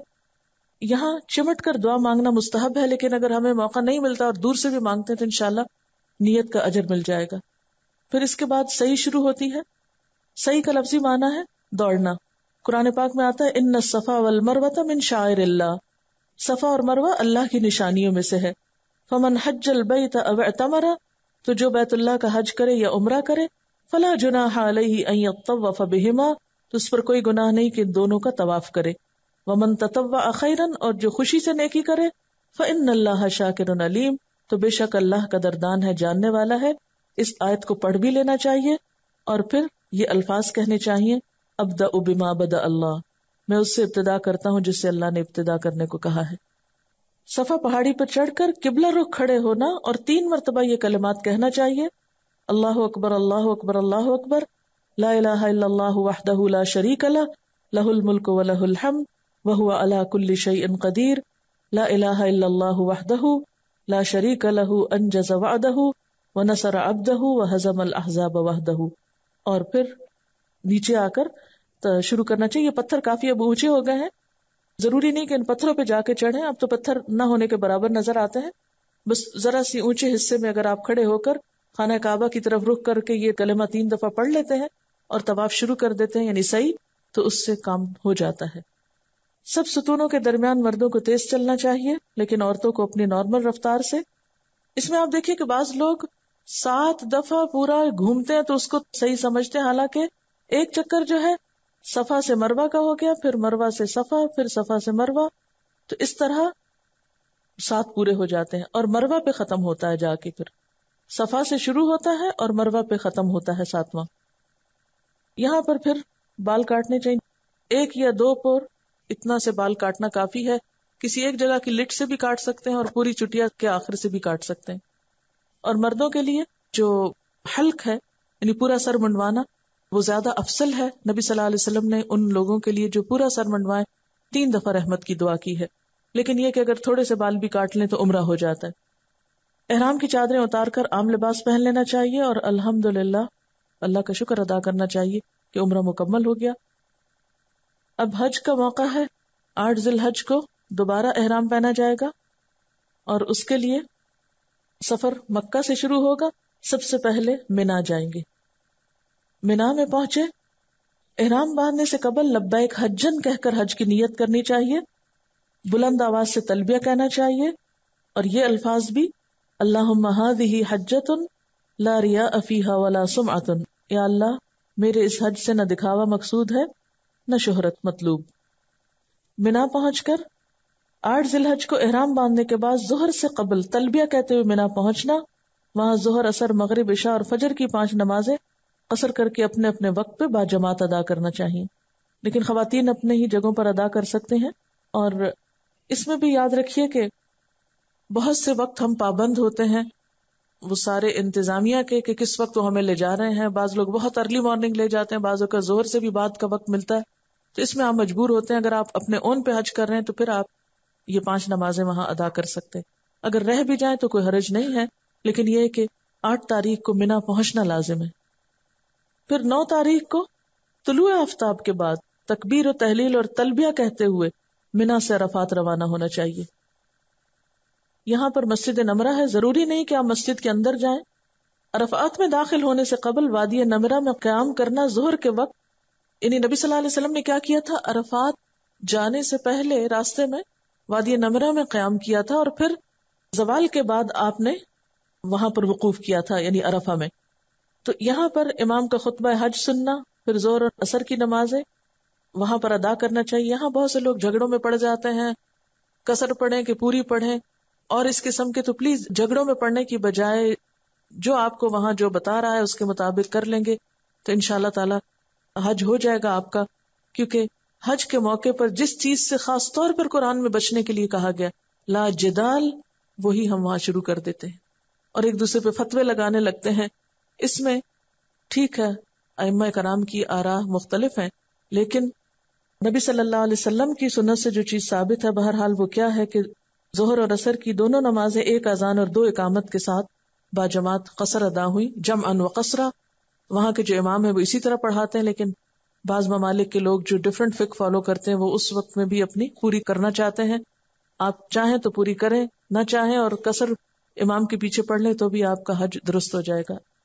अरफात के मैदान में साहिबान के नीचे अमूमन लोग होते हैं, धूप में खड़ा होना ज़रूरी नहीं, जबल नूर पे चढ़ना ज़रूरी नहीं। लेकिन चूँकि वकूफ अरफात है तो आप सल्लल्लाहु अलैहि वसल्लम ने खड़े होकर दुआएँ मांगी थी। तो जितनी भी दुआओं की किताबें और डायरियाँ और जो जो आपने रखा हुआ है, अब काफ़ी वक्त है आपके पास। जवाल आफ्ताब, यानी जोहर से लेकर मगरिब के वक्त तक आपके पास कई घंटे हैं। खूब खूब दुआएँ मांगे। यही हज का असल दिन है। अलहज अरफा। हज का रुकन आज़म है। फिर जबल रहमत के दामन में ये जहाँ जगह मैसर आए वकूफ करना चाहिए। किबला रुख खड़े होकर हाथ बुलंद करके कुरानी और नबी दुआएँ मांगना और दरमियान में तकबीर और तहलील और तलबिया भी कहना चाहिए। अल्लाह अकबर, ला ये भी बीच बीच में पढ़ना चाहिए। फिर आप थक जाए तो बैठ भी सकते हैं, खाना भी खा सकते हैं। अगर बहुत नींद का गलबा तो थोड़ा सा सो के फ्रेश भी हो सकते हैं, लेकिन सिर्फ़ इतना कि जिससे आप मजीद इबादत के लिए फ्रेश हो, ये नहीं कि आप फिर सोते ही चले जाएँ। गुरूब आफ्ताब के बाद नमाज़ मगरब अदा किए बगैर सुकून और वक़ार के साथ तलबिया कहते हुए मुजदलिफा रवाना होना चाहिए। बहुत से लोग पैदल चलते हैं, गाड़ियों में भी होते हैं, लेकिन इस वक्त में भी दुआएँ करते रहना चाहिए। एक अजीब मंजर होता है हमेशा दुनिया में मगरिब की आजान होती है तो सब नमाज़ के लिए दौड़ते हैं और यहाँ आजान होती है तो आपको नमाज़ नहीं पढ़ना, बल्कि आपको यहाँ से चलना है। फिर मुजदलिफा आप पहुँचते हैं। यानी आप मक्का से मिना है, मिना से अरफात अरफात से आप मुजदलिफा आएँगे, रात यहाँ गुजारेंगे। नौ और दस के बीच की रात यहाँ गुजरेगी। आठ और नौ के बीच की मिना में गुजरी, दिन अरफात में गुजरा, रात फिर मुजदलिफा में आ गए। मुजदलिफा पहुंचकर मगरब और इशा की नमाजें एक आजान और दो इकामत के साथ कसर करके, जमा और कसर अदा करनी चाहिए। रात सोकर गुजारना और दस दिलहजा की नमाज़ फजर मामूल के वक्त से थोड़ी पहले अदा करना चाहिए। बाज लोग सारी रात यहाँ जागते हैं। नबी सल्लल्लाहु अलैहि वसल्लम ने यहाँ रात को आराम किया था, इसलिए आराम करना भी मसनून है।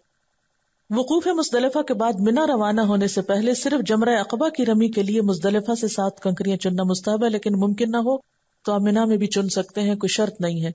रमी के लिए कंकरी का हजम चने के दाने से कुछ बड़ा होना चाहिए। बाज लोग बड़े बड़े पत्थर उठा लेते हैं या जूते मारते हैं या और चीज़ें फेंकते हैं। ये सब खिलाफ वकार बातें हैं। इन चीज़ों से परहेज करना चाहिए। जिस शैतान को हर वक्त हमने दोस्त बनाया हुआ वहाँ जाके उस पर जूते मार भी आए तो कोई बहुत बड़े कमाल की बात नहीं। नेक्स्ट नमाज़ फजर बाजमात अदा करने के बाद मशरुल हराम पहाड़ी के दामन में या जहाँ भी जगह मिले, किबला रुख खड़े होकर हाथ बुलंद करके, सूरज तुलू होने से कबल खूब रोशनी फैलने तक तकबीर और तहलील कहना, तोबा, इस्तगफार करना और दुआएँ मांगना चाहिए। नबी सल्लल्लाहु अलैहि वसल्लम की यही सुन्नत है। लेकिन अफसोस के बाद वहाँ से जो मौलम होते हैं या काफिले होते हैं, वो कुछ करने नहीं देते और एक भीड़ और एक रश की हालत होती है। लोगों को खुद कुछ पता नहीं होता और बस जल्दी जल्दी में एक से दूसरी जगह, दूसरी से तीसरी जगह ले जाते हैं। उसमें इंसान मजबूर है, माजूर है, लेकिन अगर आपको मौका मिले तो जी भर के अपनी सुन्नतों की अदायगी कीजिए। फिर मिना में वापस आएँगे आप। तुलु आफ्ताब से कबल सुकून और वक़ार के साथ तलबिया कहते हुए मिना रवाना होना और रास्ते में वादी मुहसर से तेज़ी से गुजरना चाहिए। ये वादी मुहसर वो जगह है जहाँ अबराह का लश्कर जो है, हलाक हुआ था, इसलिए नबी सल्लल्लाहु अलैहि वसल्लम ने यहाँ रुकने से मना किया और तेज़ी से गुजरने का हुक्म दिया। मिना पहुंचकर तुलु आफ्ताब के बाद जमर अकबा की रमी करनी चाहिए। रमी कहते हैं पत्थर मारने को, पत्थर फेंकने को रमी से कबल तलबिया कहना बंद कर देना चाहिए। कंकरियाँ मारते वक्त अल्लाह अकबर कहना मसनून है और सात कंकरियाँ फेंकना होती हैं। जमरा अकबा, यानी पुल है, पुल के नीचे भी है ये इसका सिंबल, ऊपर भी है। जहाँ आपके लिए सहूलत हो आप जाइए। इसमें बहुत ज़्यादा रश होता है और उमूमन यहाँ पर बहुत खौफ और हरास भी फैल जाता है। बाज़ात लोग पाँव के नीचे आ जाते हैं। क्योंकि होता यह है कि सब एक ही जगह से जा रहे होते और एक ही जगह से आ रहे होते हैं। ये जो गड़बड़ होती है और फिर ग्रुप्स बने हुए होते हैं और वो इकट्ठे धक्के दे रहे होते हैं इसमें फिर बहुत मुश्किल होती है अभी तक इस मसले का कोई हल शायद समझ में नहीं आया लोगों के। लेकिन यह है कि इंसान को कोशिश करना चाहिए कि अपनी तरफ़ से किसी को अजियत न दे। कंकरियाँ मारने के बाद फिर कुर्बानी करना होती है और कुर्बानी के गोश्त में से कुछ खुद भी पका के खा सकते हैं। अगर मौका ना हो तो सारा ही दे दे। फिर यहाँ पर बाल कटवाना या मुंडवाना इनमें से दोनों काम होंगे। ये इस दिन का खास अमल है। और फिर आपका तहल्लुल अव्वल हो जाता है, यानी आप एहराम की चादरें उतार देते हैं और आप नहा धो के खुशबू वगैरह लगा सकते हैं। ये खातन तो तेज खुशबू नहीं लगाएँगी, लेकिन ये कि अब आप फारिग हो गए। सिवाय शोहर और बीवी के ताल्लुक के तमाम चीज़ें जो है वो जायज़ होती हैं। अब हज का दूसरा रुकन जो है तवाफ इफाजा ये करना है। ये हज का रुकन आज़म है एक तरह से, यानी हज के दो फराइज हैं, एक अरफा में क्याम और एक ये तवाफ। अगर ये दो नहीं हुए तो हज नहीं होगा। और ये तवाफ कब होता है? मिना से, मिना में कंकरियाँ मार के, कुर्बानी करके और बाल कटवा के, फारिग होके, नहा धो के, फिर आप जाते हैं मक्का दोबारा।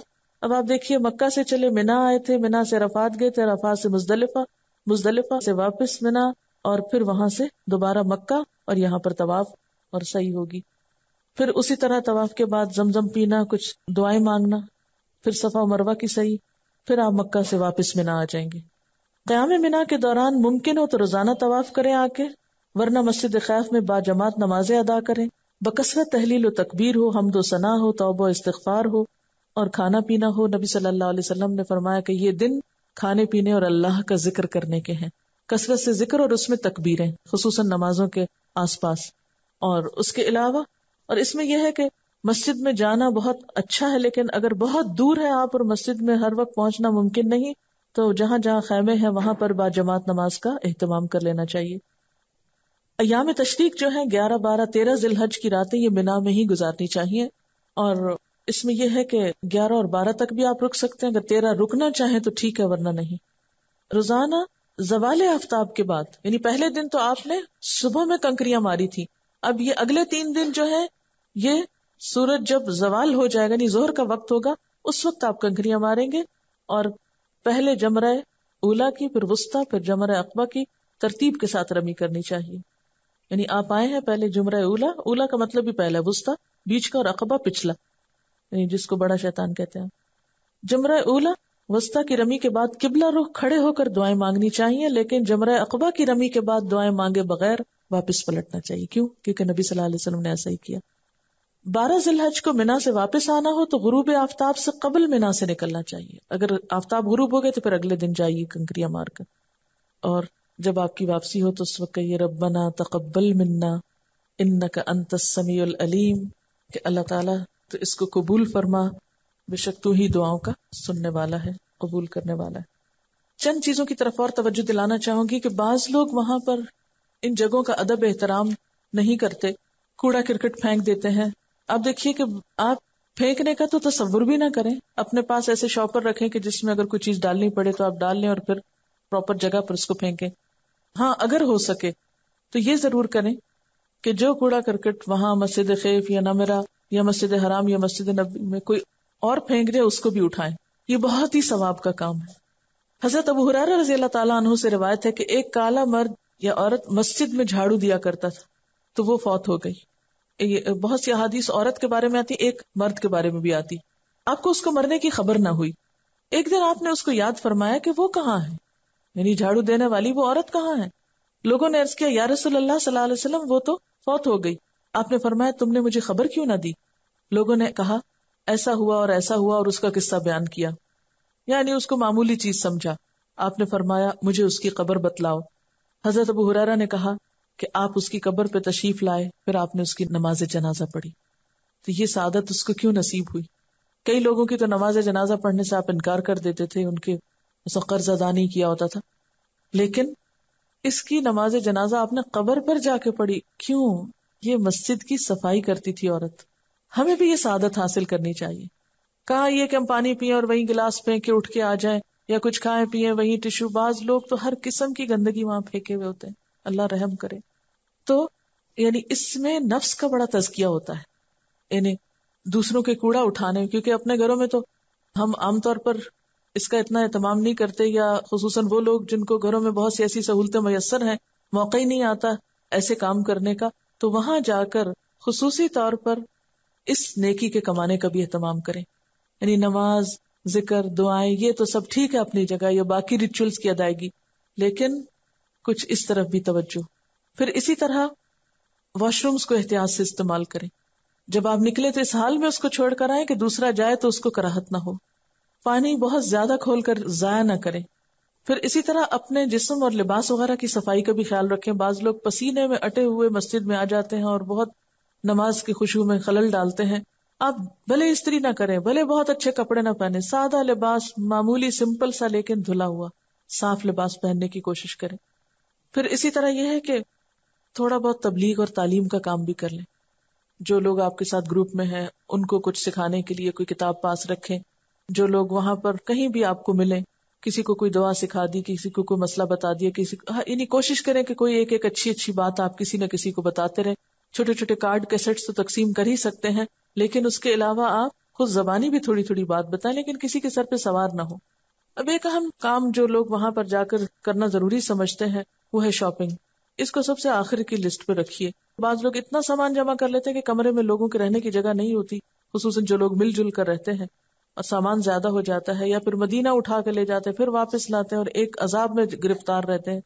तो इसलिए कोशिश ये करें कि जब बिल्कुल वापसी का वक्त हो तो कुछ लोगों के लिए अगर आपको हदिया वगैरह खरीदना हो तो वो आप खरीद सकते हैं। उसमें कोई मना नहीं है। लेकिन हमारे यहाँ अमूमन रवाज क्या है? जाय नमाज़ तस्बी अब हर शख्स वापस आने वाला जाय नमाज़ दे रहा है तस्वीर दे रहा है। अब क्या होता है कि कोई कितनी जाय नमाजों पर नमाज़ पढ़ेगा और कोई कितनी तस्वीर पढ़ेगा? तो सिर्फ़ जाय नमाज़ और तस्वीर को एक रिचुअल समझ के मत खरीदे। उसके अलावा भी आप कुछ चीज़ें ले सकते मसला अच्छी तिलावत की कैसेट्स लाएँ।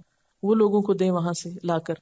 अमूमन हम किताबों की दुकान पे तो जाते ही नहीं ना, वहाँ की शॉपिंग करते हैं। इसी तरह आप खजूर ला सकते हैं। जमजम तो खैर लाना ही होता है। इसी तरह यह है कि आप ऐसी चीज़ें खरीदने की कोशिश करें कि जो दूसरे इस्तेमाल करें और आपको सवाब और फ़ायदा भी पहुँचे।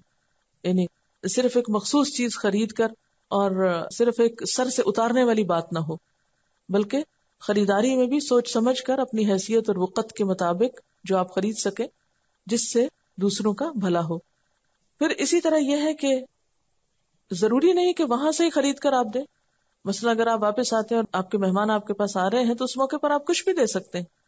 यानी यहाँ से भी आप कोई अच्छी किताबें, अच्छी कैसेट्स अच्छी चीज़ें लेकर आप लोगों को, आने वाले मेहमानों को दे सकते हैं या इसी तरह यह है कि जैसे खुशबू का हदिया है तो वो महँगा ज़रूर होता है, लेकिन नबी सल्लल्लाहु अलैहि वसल्लम खुशबू के हदिये को कभी रद्द नहीं किया करते थे।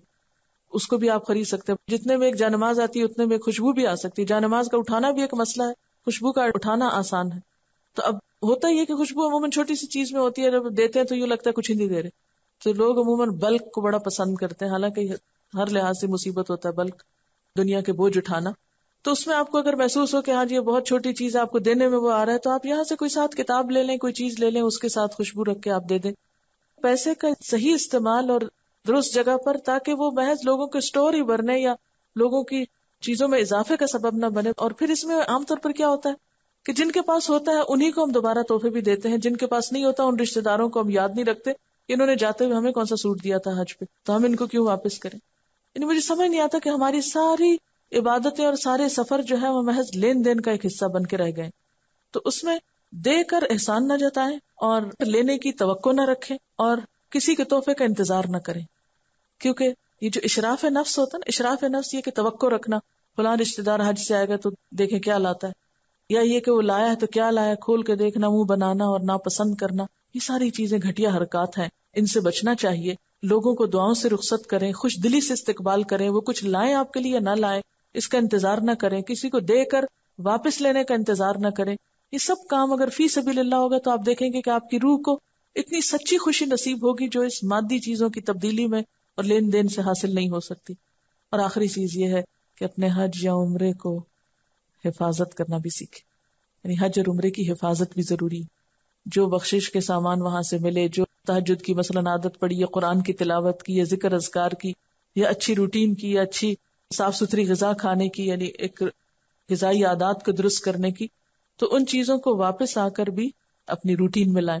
और जिस चीज़ से परहेज करना है, वो नेकियों का चर्चा करने से हम्म क्योंकि नेकियों का चर्चा करने से नेकियाँ जाया हो जाती तो ये ना कहे कि मैं तो इतने तवाफ की कई लोग गिन के तवाफ बताते हैं, हैरत होती इसका ज़िक्र ना करे। कोई पूछे भी कहें, बस जो अल्लाह ने तोफीक दी, अल्हम्दुलिल्लाह, जो नसीब में हुआ कर लिया। यानी ऐसे सवालों को भी टालें कि जिससे आपकी नेकियों के बहुत से राज खुले। फिर इसी तरह यह है कि वहाँ पर जो तकलीफें पेश आए, चाहे इमिग्रेशन से, चाहे वहाँ की हरम की इंतजामिया से, या किसी उनका बहुत ज़्यादा तबसरा और तस्करा और चर्चा ना करें। ये मुश्किल हुई, ये तकलीफ़ हुई। बस अल्हम्दुलिल्लाह, अल्लाह कबूल करे, जो भी हुआ, अल्लाह ताला अपनी रहमत से हमारे गुनाहों की बख्शिश का ज़रिया बना दे। कहीं ज़रूरत हो तो किसी को सीखने के लिए, तजुर्बे के लिए आप बता सकते हैं, किसी मकसद के लिए। लेकिन बेमकसद गुफ्तगु से परहेज करना चाहिए। होता यह है कि हम हज भी कराते हैं, हम सफ़र भी करते हैं, सब कुछ करते हैं, लेकिन सुन्नतें भूल जाते हैं, मखसूस दुआएँ भूल जाते हैं, और बाजुकत गैर मसनून चीज़ें पढ़ पढ़ा कर वही दरूद ताज वहाँ बैठ के पढ़ेंगे जिसमें शिरकी अल्फाज हैं, और साथ नेकी करेंगे, साथ उसको जाया करेंगे तो इन चीज़ों से परहेज करना चाहिए। याद रखें, हज का सफ़र शौक का सफ़र है मोहब्बत का सफ़र है इबादत का सफ़र है इतात का सफ़र है हम्म, जुनून का सफ़र है दीवानगी का सफ़र है। ये सफ़र दूसरे सफरों से बहुत मुख्तलिफ़ है इसलिए इसे आम सफ़र न समझें। इसकी इब्तदा से इंतहा तक अपने आप को अल्लाह ताला से जोड़े रखें। ये एक दो सवाल हैं।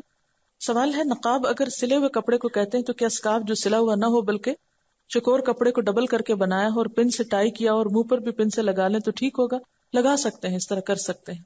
लेकिन बाजू का स्काफ बहुत ज़्यादा टाई आप ऊपर नीचे करने से वो इतने छोटे हो जाते हैं कि सीना खुल जाता है। तो स्काफ अगर आप पहने तो प्लीज़ अपना सीना ज़रूर ढके, क्योंकि कुरान में खासतौर पर वलियादरिब न बिखुमुरिहिन अला जयूबिहिन का हुक्म है कि अपने खिमार अपने सीनों पर डालें। तो बाज खातन चली जा रही होती हैं, हाथ छड़काते और सीना सारा खुला और तो आमतौर पर भी ये चीज़ ठीक नहीं। लेकिन हज के सफ़र में या उम्र के सफ़र में ये चीज़ें जो है वो अजर सवाब को जाया करने का बायस बनती है। सवाल है, अगर आपके घर में जवान बेटी है तो पहले आप उसकी शादी करें, वो फ़र्ज़ है, और हज बाद में अगर ऐसा पहले करें तो क्या आपका हज हो जाएगा? यानी शादी पहले ना की तो। उसमें आप देखें कि एक तो शादियों के अखराज हमने बहुत ज़्यादा बढ़ा लिए इसलिए हमें एक बच्चे के बाद एक के करने की वजह से हज का मौका नहीं मिलता। शादी को सिंपल करने की कोशिश करें, और अगर बेटी बाद में कोई देखने वाला है या कहीं छोड़ सकते हैं तो हज करने में देर नहीं करनी चाहिए। अगर ऐसा है कि कोई ऐसे शहर में या ऐसे मुल्क में रहते हैं जहाँ आपके बच्चों की लुक आफ्टर करने वाला कोई नहीं तो उस सूरत में फिर आप पहले बच्चों की हिफाजत को कोई इंतज़ाम करें और फिर हज करें। एक और मशवरा किसी ने दिया कि अगर साथ एक छोटी सी टॉर्च भी रखी हो, क्योंकि कमरा जब बहुत से लोग शेयर कर रहे होते हैं तो बाजुकात लाइट ऑन ऑफ़ करके वॉशरूम जाने के लिए बाहर अंदर निकलते हैं तो दूसरों की नींद खराब करते हैं। या पढ़ना होता है, आपको आपको नींद नहीं आ रही, आप कुछ पढ़ना चाहते हैं तो उस वक्त आप तन्हाई में, अकेले में अपनी रोशनी से पढ़ लें तो ज़्यादा बेहतर है, ताकि दूसरे लोग डिस्टर्ब ना हो। इसी तरह यह है कि कांच की चूड़ियाँ पहनकर जाने से परहेज करें, क्योंकि बाज़ात धक्कम पेल में चूड़ियाँ टूटती हैं, ज़मीन पे गिरती हैं, अपना खून भी निकलता है, दूसरों को भी अजियत हो सकती है। बाज लोग हज करके आते हैं तो अपने नाम के साथ हाजी या हजियानी लगाते हैं, क्या ये दुरुस्त है? इससे परहेज करना चाहिए, क्योंकि हमें क्या ज़रूरत है किसी को बताएँ कि हमने हज किया हो या नहीं? और अगर अल्लाह ताला ने आपको एक से जायद हज करने की तोफीक दी हो तो उसको याद न रखा करें कितने किए।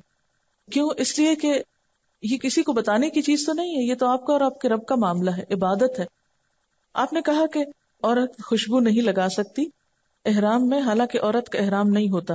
नहीं, औरत का एहराम उसकी नीयत होती है, औरत का एहराम उसका इरादा और वो, यानी मखसूस हालत है। एहराम का लफ्सी माना होता है हराम करना। यानी एहराम कपड़े का नाम नहीं है। एहराम नीयत और चंद पाबंदियों को कबूल करने का नाम है, उस हालत का नाम है। तो तो औरत और मर्द सबके लिए होता है। मर्दों का मखसूस लिबास होता है, जबकि औरत का मखसूस लिबास नहीं होता। अब यह है कि घर में जैसे आप नहाए हैं और खुशबू वाले साबन से नहा लिए या शैम्पू में खुशबू थी तो कोई हर्ज नहीं कि उसके बाद आपने रास्ते में जब एहराम की नियत की तो पिछली खुशबू अगर साथ लगी हुई है तो हर्ज नहीं। एहराम की हालत में आकर फिर खुशबू नहीं इस्तेमाल कर सकते। इन दो चीज़ों में फ़र्क है। एक और मशवरा है कि जो लोग आपके साथ हज या उम्र पे जाते हैं, वापस आकर उनकी गिबत ना करें। क्योंकि थोड़ी बहुत कोई तंगी तकलीफ़ हो जाती है, फिर हम आके किससे कहानियाँ सुनाते, वो फुला मेरे साथ था, उसने तो हद ही कर दी, फुला मौके पर ऐसा कर दिया, फुला मौके पर ऐसा। इससे भी आपका अजर जो है वो जाया हो जाता है। जमजम पीते वक्त कोई मसनून दुआ बता दे मुझे इस वक्त मसनून दुआ तो याद नहीं, लेकिन जो दुआ मैं मांगती हूँ, अल्लाह इन्नी असल का और रिस्कन तय्यबन व अमलन मुतकबलन ये दुआ। अच्छा एक बात याद रखिए कि एहराम की पाबंदियाँ उम्र खत्म होने के साथ ही खत्म हो जाएँगी। बाकी दिन जो आप मक्का, मदीना में रहेंगे, उसमें ये सारी पाबंदियाँ नहीं होगी। बाज लोग समझते हैं कि शायद सारा ही हज का सीज़न जो है, वो खुशबू वाला शैम्पू या लोशन या कोई चीज़ नहीं लगा सकते। नहीं, ये सिर्फ़ एहराम की नियत करने से लेकर बाल काटने तक क्या तवाफ इफाजा और रमी मखसूस औकात में करना वाजिब है? क्या इन दोनों मनासिक के औकात फिक्स है? नहीं, इनके औकात फिक्स नहीं। रमी का वक्त तो है कि जवाल आफ्ताब के बाद होती है और पहले दिन सूरज निकलने के बाद, लेकिन बाकी वो नहीं है। क्या हज या उम्र कर्ज के पैसों से कर सकते हैं? आपको तो जाने से पहले बाकी कर्जे भी उतारने हैं। कहा ये कि आप कर्ज लेकर जा रहे हैं, हा? सुबहानक अल्लाहुम्मा व बिहम्दिका नशहदु अल्ला इलाहा इल्ला अंता। नस्तगफिरुका व नतूबु इलैक वस्सलामु अलैकुम व रहमतुल्लाहि व बरकातुहू